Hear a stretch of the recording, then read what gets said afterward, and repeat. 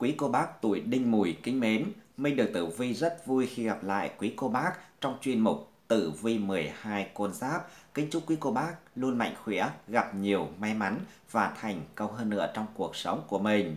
Bước sang tháng 2 nhuần âm lịch năm Quý Mão 2023, vận trình của quý cô bác gặp hung hay cát, phúc hay họa, giàu hay nghèo, làm sao để nhận biết được những khó khăn để vượt qua và làm sao để đón nhiều vận may đến với mình. Và tuổi Đinh Mùi, sinh năm 1967, được các nhà chiêm tinh học, nhà tử vi học phương Đông đã dày công nghiên cứu dựa trên sự dịch chuyển của các chòm sao, sự chuyển biến của thiên can, địa chi và ngũ hành trong tứ trụ luận mệnh chỉ ra rằng đúng tháng 2 nhuận âm lịch năm Quý Mão 2023 tới đây, người tuổi Đinh Mùi được các tinh trợ mệnh thần tài giận bức, quý nhân phù trợ sẽ đón nhiều vận may bất ngờ, tài lộc thăng hoa, có cơ hội trúng số, đổi đời là rất lớn. Vậy, vận trình cụ thể ra làm sao? Xin mời quý cô bác tuổi đinh mùi cùng theo dõi lá số tử vi chi tiết của mình ngay sau đây nhé. Tổng quan tuổi Đinh Mùi, sinh năm 1967, Người tuổi Đinh Mùi, sinh năm 1967, là tuổi con dê, thuộc mệnh thủy, thiên hà thủy, nghĩa là nước sông Thiên Hà. Theo tử vi phương Đông, bản mệnh tuổi Đinh Mùi, sinh năm 1967, có vận thế khá tốt, cả cuộc đời được vận may theo đuổi, bắt đầu từ trung vận. Từ năm 36 tuổi trở đi, sự nghiệp của tuổi Đinh Mùi phát triển không ngừng, cũng từ đây mà của cải, vật chất ngày càng nhiều, cuộc sống lúc nào cũng được sung túc, dư giả. Hậu vận được thành thơi, tận hưởng cuộc đời vinh hoa, sang giàu, con cái đủ đầy, gia đình hạnh phúc. Những người này có số hưởng thọ từ 75 tuổi đến 82 tuổi, nếu ăn ở hiền lành, làm nhiều việc tốt, tích nhiều phúc đức, sẽ tự khắc được gia tăng tuổi thọ. Tử vi tháng 2 nhuận âm lịch năm Quý Mão 2023 cho thấy Nguyệt lệnh Lâm Ất Mão, vận trình có được quý nhân trợ giúp, cho nên người tuổi Đinh Mùi gặp nhiều điều may mắn. Nhưng trong tháng cũng có hung tinh bạch hổ xuất hiện, sẽ mang tới điểm bị người khác ganh ghét, đố kỵ mà hãm hại. Các thầy tử vi chỉ ra rằng, người tuổi đinh mùi, trong tháng 2 nhuận âm lịch tới đây, sẽ có những điểm thuận lợi, nhưng cũng có không ít những khó khăn, bản mệnh cần cố gắng hết sức mình, chớ nên quá coi trọng thành tích. Quan trọng hơn là, bản mệnh đã học được những gì, điểm thuận lợi của người tuổi đinh mùi là ở chỗ có tác động tích cực của cục diện tam hợp, hợi mão mùi, bản mệnh xây dựng được những mối quan hệ xã giao hài hòa, cũng nhờ mọi người hợp tác tốt mà mọi vấn đề diễn ra suôn sẻ hơn so với dự tính. Tuy nhiên, điều không thuận lợi mà bản mệnh tuổi đinh mùi cần lưu ý trong tháng này là ý thức rõ vị thế, cũng như khả năng của bản thân, không nên chạy theo những điều xa vời, không thiết thực. Về phương diện tài lộc cũng khá lạc quan, đây là thời điểm phù hợp để mệnh chủ ký kết hợp đồng với đối tác, đôi bên tin tưởng lẫn nhau cùng hướng tới một mục tiêu, thì chắc chắn tiền bạc sẽ chảy về trong túi nhiều như nước. Có điều, nếu như có ý định mở rộng kinh doanh, tìm hướng phát triển mới, thì bản mệnh tuổi đinh mùi cần căn cứ vào thực tế nhiều hơn, chới chạy theo xu thế của thị trường, làm việc không phù hợp với khả năng của mình. Về phương diện tình cảm, thì lại không được khả quan như vậy, do chịu tác động của ngũ hành tương khắc, mệnh chủ và người ấy thường hay tranh cãi với nhau, thậm chí đôi bên còn rơi vào cảnh chiến tranh lạnh, tạo điều kiện cho kẻ thứ ba trên chân vào mối quan hệ gia đình. Đối với người độc thân, bản mệnh giỏi giao tiếp nên xây dựng được quan hệ rộng rãi. Tuy nhiên, bạn cần tránh thói trăng hoa, đứng núi này trông núi nọ nhé. Sau đây là phần luận giải tử vi chi tiết cho tuổi Đinh Mùi, sinh năm 1967, trong tháng 2 nhuận âm lịch, năm Quý Mão 2023. Trên bốn phương diện chính của cuộc sống, gồm sự nghiệp, tài vận, tình duyên, sức khỏe. Mời quý vị cùng theo dõi. Về vận trình sự nghiệp, xem tử vi tháng 2 nhuận âm lịch, năm Quý Mão 2023 cho thấy Tháng mới người tuổi đinh mùi, có vận trình sự nghiệp diễn ra tương đối tốt, các hạng mục công việc của bạn diễn ra khá suôn sẻ, mặc dù cũng gặp không ít khó khăn, nhưng cũng được hoàn thành nhanh chóng, nhờ sự đoàn kết của bạn bè và đồng nghiệp xung quanh. Tháng 2 nhuận âm lịch này, bản mệnh tuổi đinh mùi, nhận được nhiều sự ủng hộ của mọi người, nhờ thế mà bạn cảm thấy quyết tâm và tự tin hơn, bản mệnh tự tin nêu ý kiến trước tập thể, nhờ đó nhận được sự đánh giá tốt của cấp trên và đồng nghiệp. Tuy nhiên, việc lập kế hoạch bạn cũng cần phải căn cứ vào thực tế nhiều hơn, bản mệnh không nên đặt ra những mục tiêu viển vông, vì như vậy chỉ tạo áp lực cho chính bản thân mình, chứ không thể giúp cho bản thân đạt được thành công như dự kiến. Tháng mới này, làm việc gì thì người tuổi đinh mùi cũng phải nhớ ý thức được vị thế và tiềm năng của mình, không nên chạy theo xu hướng, khi nào phát huy được thế mạnh thì bạn mới xác lập được chỗ đứng cho mình. Nguyệt lệnh lâm dưỡng, khuyên bản mệnh tuổi đinh mùi, hãy kiên trì trước những khó khăn và thách thức, không nên sợ vất vả, bạn càng bỏ ra nhiều công sức và tâm huyết cho công việc thì thành quả bạn gặt hái được lại càng đáng mừng. Trong việc hợp tác làm ăn, bản mệnh tuổi Đinh Mùi nên hợp tác với tuổi Mậu Thân và Canh Tuất, hai tuổi này rất tương hợp với tuổi Đinh Mùi trong đường tài lộc, vì thế nên chọn hai tuổi này để hợp tác thì công việc sẽ dễ dàng gặt hái được nhiều thành công vang dội, nhiều tài lộc thu về. Tuổi Đinh Mùi, tháng 2 nhuận, nói về quý nhân phù trợ của 12 con giáp, cho thấy, sự cần mẫn chậm mà chắc của tuổi Đinh Mùi, đều kết hợp được với sự thông minh nhanh nhẹn của tuổi Mão, sẽ giúp công việc tiến triển thuận lợi hơn nhiều. Để tuổi Đinh Mùi, hợp với tuổi Mão, tuổi Ngọ, tuổi Hợi, bất kể là trong kinh doanh, làm ăn hay hôn nhân gia đình đều rất thuận lợi. Theo đó, quý nhân phù trợ của tuổi Đinh Mùi, chính là tuổi Mão, tuổi Hợi và tuổi Ngọ. Hướng may mắn là, hướng đông. Một điều quan trọng nữa là, người tuổi Đinh Mùi được Phật bản mệnh là, Phật Đại Nhật Như Lai hộ mệnh. Phật Đại Nhật Như Lai là vị thần tượng trưng cho ánh sáng và trí tuệ. Người tuổi Đinh Mùi nên thỉnh, hoặc mang bên mình bản mệnh Phật Đại Nhật Như Lai. Ngài sẽ mang sức mạnh của ánh sáng và tri thức, giúp cho bạn vượt qua mọi khổ đau, bi ai trong cuộc sống, nắm bắt được những nét tinh hoa của vạn vật, dũng cảm tiến lên phía trước để đến với chân trời của ánh sáng và niềm vui. Cũng như được quý nhân phù trợ, khiến cho sự nghiệp thành tựu, làm nên nghiệp lớn. Đeo hình tượng Phật Đại Nhật Như Lai, sẽ giúp bảo trợ giúp cho tuổi đinh mùi chống lại những luồng khí xấu, hóa giải sao hạn, sao xấu, tránh được tiểu nhân hãm hại. Ngoài ra, người tuổi đinh mùi sẽ nhận được sự phù hộ của Ngài, một đời được bình an, gặp hung hóa cắt, khi gặp điểm dữ sẽ hóa lành, khi mất đi được vãng sinh vào thế giới cực lạc. Những người tuổi đinh mùi khi mang bên mình bản mệnh Phật Đại Nhật Như Lai, cùng lời cầu khấn thành tâm sẽ được giải thoát khỏi tam độc tham sân si. Còn giúp hóa giải vận nạn, mang đến cho người tuổi đinh mùi bình an, may mắn trong cuộc sống. Khi thỉnh Phật và hình tượng Phật bản mệnh, giúp bản thân tự liên hệ, tự hoàn thiện các phẩm chất nhân văn, sống hài hòa hơn mỗi ngày. Những quả phước thiện sẽ đè nén tất cả quả bất thiện, khác hoặc nếu quả xấu có hiện hành thì cũng trở thành nhỏ, không đáng kể, không nguy hại. Hãy duy trì hành thiện tránh ác, có thể thời điểm này bạn chưa được may mắn, nhưng nghiệp ác chắc chắn đã được giảm đi, và khi tích lũy đủ nhiều, thì hạnh phúc, bình an sẽ đến. Về vận trình tài lộc Bước sang tháng 2 nhuận âm lịch này, người tuổi đinh mùi, có con đường tài lộc cũng khá tươi sáng. Bản mệnh có thể thu về một khoản tiền súng xính nhờ công sức của mình, cục diện ngũ hành tam hợp, hợi mão mùi giúp các kế hoạch làm ăn hợp tác đầu tư của mệnh chủ diễn ra suôn sẻ. Đáng mừng hơn là trong tháng này, nhờ quý nhân dẫn đường, chỉ lối, mà người tuổi đinh mùi có thể gặp được đối tác có chung mục tiêu và rất đáng tin cậy, nhờ thế mà chuyện to, việc lớn gì, cũng trở nên hanh thông, thuận lợi, giúp tiền đổ về túi ẩm ẩm. Có điều, trong tháng mới này, nếu người tuổi đinh mùi nếu có ý định mở rộng quy mô làm ăn, hoặc bước chân vào một lĩnh vực mới nào đó, thì gia chủ không nên quá vội vàng, hãy cân nhắc tìm hiểu thông tin cẩn thận, với các yếu tố tác động, cũng như khả năng của chính mình, để có thể đưa ra những quyết định đúng đắn.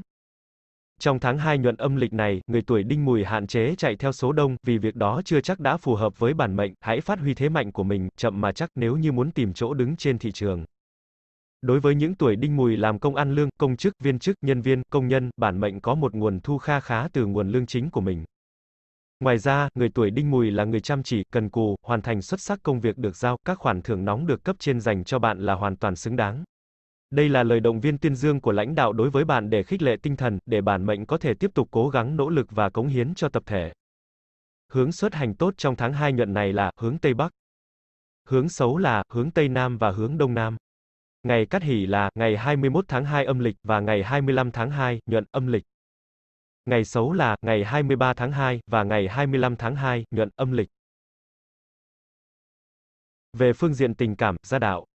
Trong tháng 2 nhuận âm lịch thì vận trình nghiệp và tài lộc của người tuổi đinh mùi có sự phát triển rõ rệt. Tuy nhiên, trong chuyện tình cảm thì lại không được suôn sẻ như ý muốn, dù là người độc thân hay đã lập gia đình, có lẽ bản mệnh sẽ đều phải đối diện với nguy cơ hoặc là những tổn thương nhất định. Người đã có đôi, có cặp vợ chồng, không tránh được có những lúc mâu thuẫn, ý kiến với nhau, bản mệnh không nên nghiêm trọng hóa vấn đề, có gì khó chịu thì nên ngồi lại bình tĩnh và trao đổi với người ấy, có như vậy mới tìm được hướng giải quyết. Còn nếu như bản mệnh tuổi đinh mùi luôn cường điệu quan điểm của bản thân, không chịu lắng nghe đối phương, thì đôi bên rất dễ nặng lời gây tổn thương cho nhau. Khi rơi vào cảnh chiến tranh lạnh, các cặp vợ chồng cần hết sức cẩn thận trước nguy cơ kẻ thứ ba chen chân phá hoại tình cảm của mình. Bạn hãy luôn nhắc nhở bản thân, giữ khoảng cách với người khác giới, quan hệ xã giao rộng rãi đến mấy, thì cũng nên giữ giới hạn, đừng vì ham vui mà khiến những người thân trong gia đình phải chịu tổn thương. Đối với người độc thân, trên thực tế các mối quan hệ xã giao, giúp cho mệnh chủ quen biết với không ít các đối tượng khác giới. Tuy nhiên, không phải ai cũng đáng tin cậy, bản mệnh không nên vội vã nghe theo lời ngon, tiếng ngọt của người chưa hiểu rõ, kẻo chuốc lấy tổn thương. Một số người độc thân cũng không nên đưa ra tiêu chuẩn lựa chọn quá cao, những hình mẫu thiếu thực tế cho việc lựa chọn nửa kia, trên đời này không có ai là người hoàn hảo, chính bản mệnh cũng như vậy. Vì thế hãy chọn người chân thành với mình chứ đừng mơ mộng thái quá nhé. Về phương diện sức khỏe, Xem tử vi tuổi Đinh Mùi, sinh năm 1967, trong tháng 2 nhuận âm lịch này cho thấy, do chịu tác động của bạch hổ hung tinh, nên tháng này sức khỏe của người tuổi Đinh Mùi có dấu hiệu suy giảm. Tháng này, người tuổi Đinh Mùi cần chú ý khi tham gia giao thông, cũng như khi vận hành máy móc, hạn chế những sự cố đáng tiếc gây bất ngờ xảy ra, gây hại cho sức khỏe. Ngoài ra, người tuổi Đinh Mùi cũng cần phải hạn chế làm việc quá sức, nếu như cơ thể có dấu hiệu cảnh báo, thì bạn nên đi khám chữa ngay. Nếu có bệnh, không nên để lâu, bệnh càng thêm nặng, vừa khó chữa, vừa tốn tiền, thậm chí phải động đến dao kéo. Bản mệnh tuổi đinh mùi cũng cần điều chỉnh việc rèn luyện hô hấp và khí bên trong thân thể, hoạt động hô hấp của mỗi người đều do cá nhân tự chủ. Nhưng thông qua rèn luyện hô hấp có thể kiểm soát được dòng khí trong cơ thể, đây là biện pháp dưỡng tâm và phát huy tác dụng rất tốt cho sức khỏe, đặc biệt là người cao tuổi. Dung mạo của con người, việc khí thịnh hay suy có ảnh hưởng đến sắc diện. Chẳng hạn như khí thịnh thì sắc mặt sẽ sáng sủa, có thần thái, có thể khiến sắc mặt trở nên trẻ đẹp hơn, cơ thể khỏe mạnh và tràn đầy năng lượng, đạt được hiệu quả hơn cả việc sử dụng mỹ phẩm. Tiếp theo là luận giải tử vi chi tiết theo 10 ngày trong tháng 2 nhuận âm lịch và cẩm nang vượng vận của tuổi Đinh Mùi, sinh năm 1967.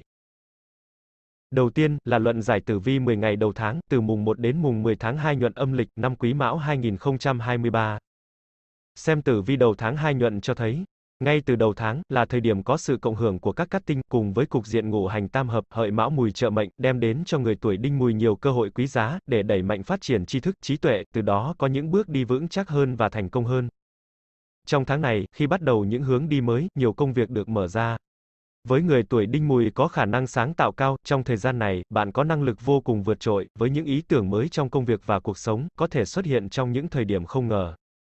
Người tuổi đinh mùi có sự quyết tâm, tìm tòi, nghiên cứu, kết hợp với một số mang tính hành động cao, giúp cho bản mệnh dám đương đầu với thách thức.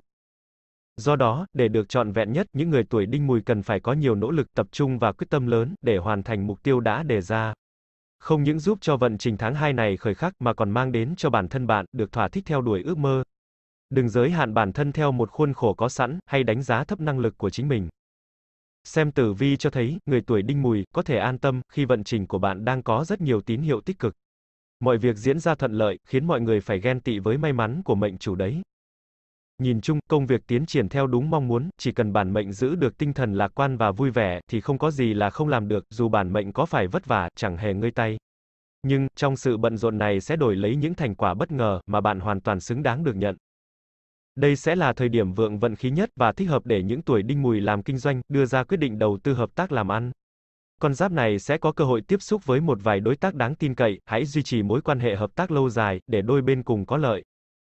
Về chuyện tình cảm, trong khoảng thời gian này, những người đã có đôi, có cặp có thể đón nhận niềm vui bất ngờ từ nửa kia, khiến mệnh chủ vô cùng hạnh phúc và càng thêm trân trọng tình cảm của đối phương.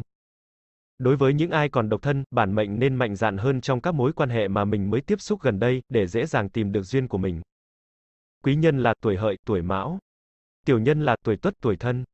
Màu sắc may mắn là màu nâu, màu vàng. Con số phát tài là số 10, số 20 và số 76. Luận giải tử vi 10 ngày giữa tháng, từ ngày 11 đến ngày 20 tháng 2 nhuận âm lịch, năm Quý Mão 2023. Xem tử vi cho thấy, người cầm tinh con dê, sinh năm 1967, mang trong mình là người siêu thông minh và nhanh nhẹn, sáng tạo, chẳng bao giờ chịu đầu hàng trước khó khăn, cực kỳ ghét bất cứ ai chê bai mình bất tài. Vào thời gian này bản mệnh tuổi đinh mùi học cách đứng trên hai chân của mình, và cho phép cá tính độc đáo của bản thân được tự do phát triển. Những người làm trong lĩnh vực hoặc theo học các ngành nghề mang tính sáng tạo, bứt phá, người sẽ thành công vượt trội, mệnh chủ không phải nhờ vả, hay xin sò ai để đạt được mục đích trong công việc, mà tự lực cánh sinh, làm mọi thứ, khó khăn cũng im lặng tự chịu đựng. Tuy nhiên, do cá tính quá mạnh mẽ, nên trong chuyện tình cảm của người tuổi đinh mùi lại hay phải chịu đau khổ, một mình lúc nào cũng tự dằn vặt bản thân, và đặt ra tiêu chuẩn quá cao trong tình yêu. Người đã có gia đình, quá khắt khe và nghiêm khắc với con cái, lời khuyên cho bản mệnh tuổi đinh mùi là nên mềm mỏng hơn.